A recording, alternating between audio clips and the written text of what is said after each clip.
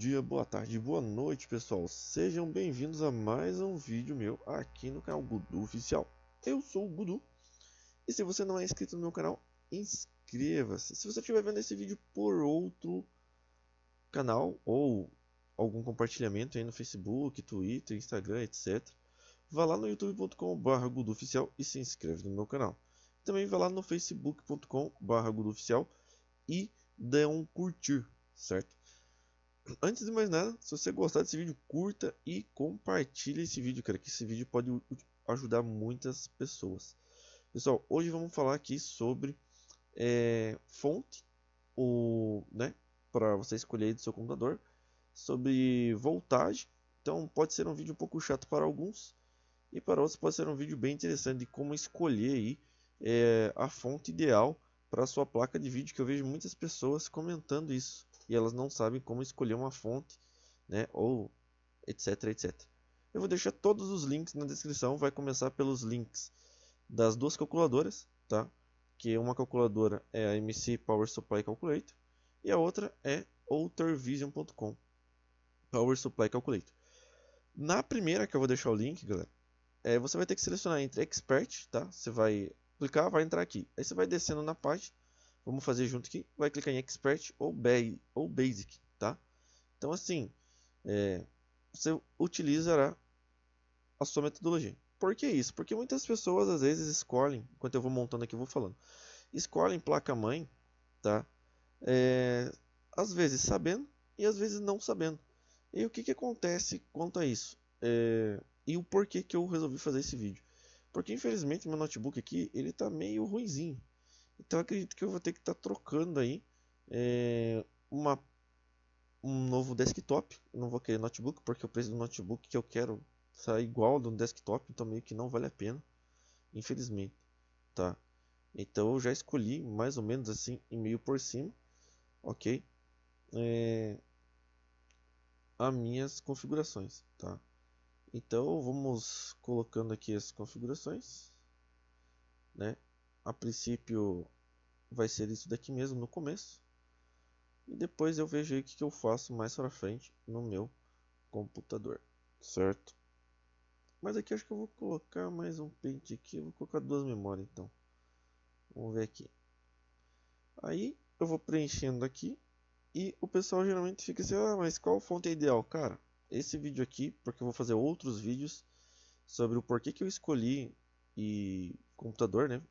Ah, você que não sabe, eu, sim, pessoal, eu manjo bastante de informática, tá? Então acredito que o pessoal vendo esse vídeo vai estar tá ajudando. Eu não sei se eu vou fazer outros vídeos é, de informática aqui, tá? Pro meu pro meu canal, mas como essa daqui tá entrando na parte do vlog, então eu vou estar tá fazendo aí, beleza? PC Express, cartão PC Express, blá, vídeo card, né? beleza, acho que já foi lá. Aqui não teria sentido colocar nenhum cartão, mas eu teria aqui um eu gostaria de colocar aqui, mas acho que não vai dar boa. Porque teria que ser aqui no storage. Ah, beleza. Acho que aqui vai dar boa. Tá tranquilo. Tá favorável. Beleza. A placa mais suporta. É, minerador aqui eu não vou colocar nenhum. Não vou minerar. Não vou usar EPC Express Card nem nada. Certo? O computador aqui geralmente vai ficar 16 horas. Colocar aí bem hardcore.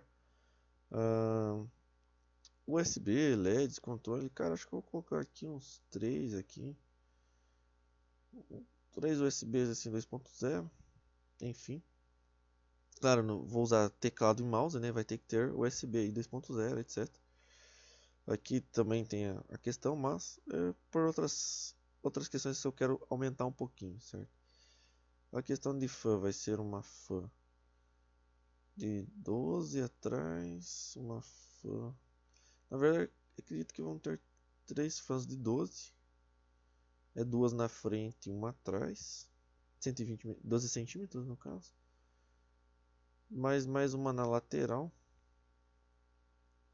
Na lateral eu, eu acho que vai uma de 14, não tenho certeza.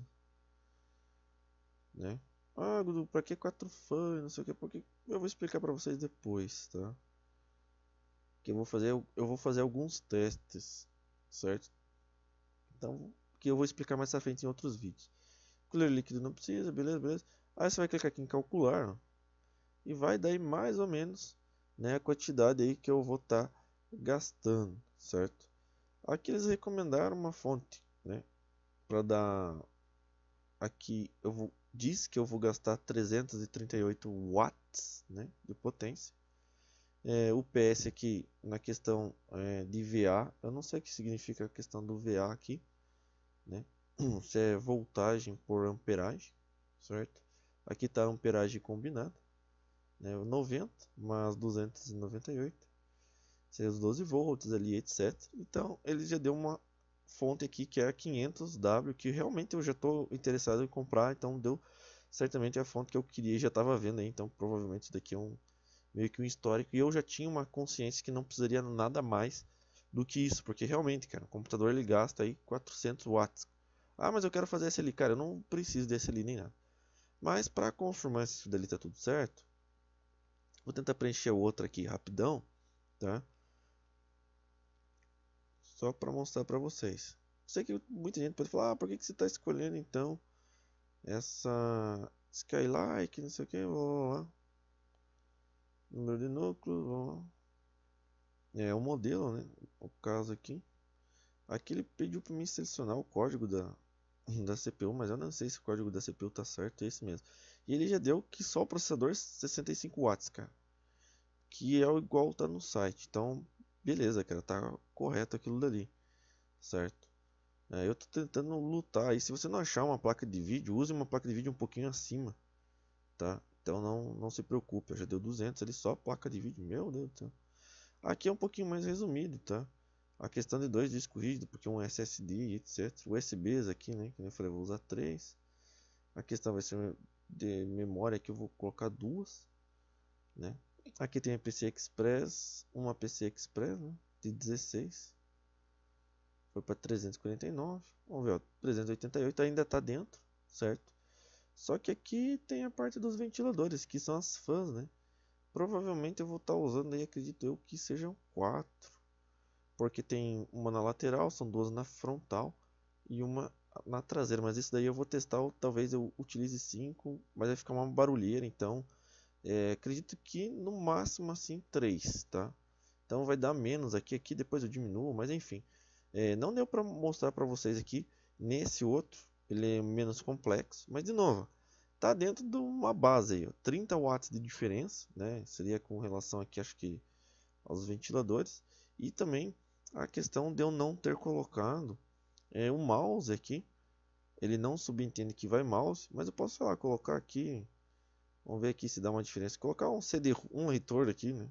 Tá? Só para dizer que é o mouse e teclado e enfim, certo? Não vai usar sempre, tá?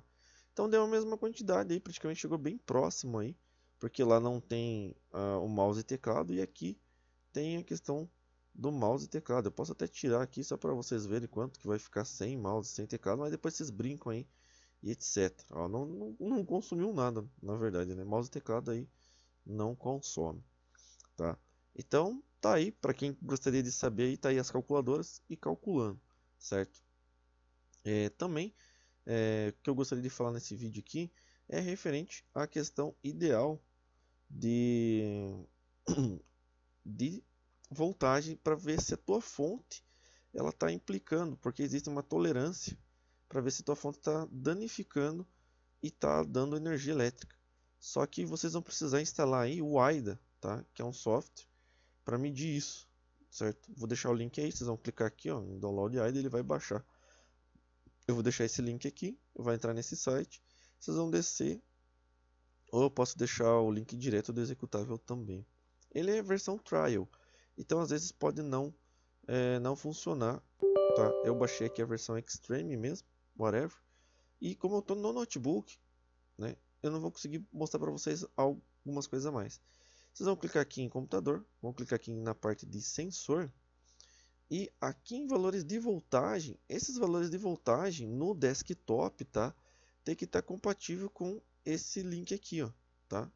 que é o link no caso do Power Supply voltagem à tolerância, certo? Então assim, como eu não tenho, não tem como eu testar aqui para vocês, mas os valores de voltagem aqui, eles têm que estar compatíveis, ou seja, o mínimo e o máximo. E o que, que você vai fazer? Você vai tentar executar esse, esse negócio na, aqui ó, no teste de estabilidade em ferramentas, certo? Aqui está na trial version, né? é óbvio, vocês estão vendo aí. Eu posso dar um start aqui e uh, se fosse um desktop ele teria que manter, eu vou deixar aqui executando, né? deu uma travadinha aqui, ele tem que manter Uh, ele vai estressar aqui, você pode escolher o que, ele quer estressar. Eu só não vou estressar no caso aqui a GPU porque eu estou gravando o vídeo agora. Então vai começar a dar um lag no vídeo aqui. Enfim, também dá para estressar a questão dos discos aqui, certo? Você vai selecionar tudo para tua Power Supply e vai deixar em uns dois minutos só de estresse, já está ótimo. E daí você vai ter que ver e acompanhar aqui do lado, né? Aqui nesse nesse valores de voltagem, se é a voltagem vai ficar para o mínimo, tá? Aqui, ó entendeu? Você vai memorizar aqui, né, o valor que estava aqui e tal. E vai ver, cara, estava dentro do máximo, estava dentro do permitido, etc, etc. Né, tá dentro aqui do VDC, por exemplo, aqui, ó, se fosse contar aqui o núcleo do CPU, que geralmente é, é, é 12 volts, né? Aqui já está 1, está 900, 0.900.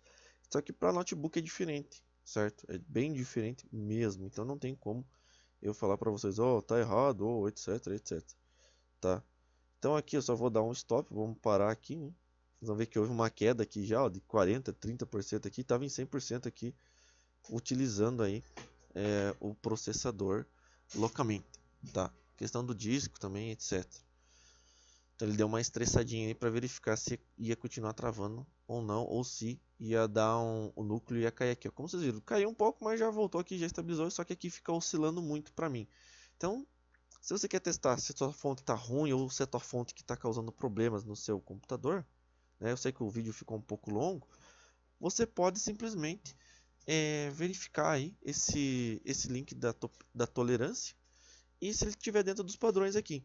Se ele não tiver, se sua fonte tiver com esses valores muito baixo ou muito alto, cara, troca a tua fonte, que tua fonte está causando problema aí pro teu computador. Às vezes você pode ter sim uma fonte de 500 watts da IVGA mesmo, e você simplesmente pode comprar outra igual, porque aquela fonte está velha, né? Ou você pode mandar arrumar ela, o que eu não, né? Enfim, é isso que eu queria mostrar para vocês hoje, certo?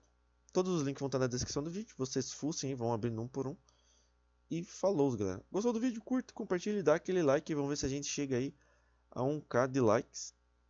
Né? Divulguem bastante aí. Porque às vezes o pessoal quer saber qual é a fonte ideal e não consegue encontrar. E também qual que seria a tolerância ou se a fonte está causando defeito. Também tem um vídeo aqui para vocês testarem fonte. Está em inglês, é óbvio. Né? Mas é interessante vocês verificarem se é a fonte mesmo que está causando defeitos na sua máquina ou não. Tá? Tem o vídeo, você está tudo em inglês, mas é muito fácil de vocês verificar esse vídeo aqui. É, ele é muito é, prático, né? Ele ah, esqueci o nome lá da palavra quando ele tem a intenção, né? É muito fácil de você, muito intuitivo, ou seja, intuição. Tá? É isso, obrigado, até o próximo vídeo e falou!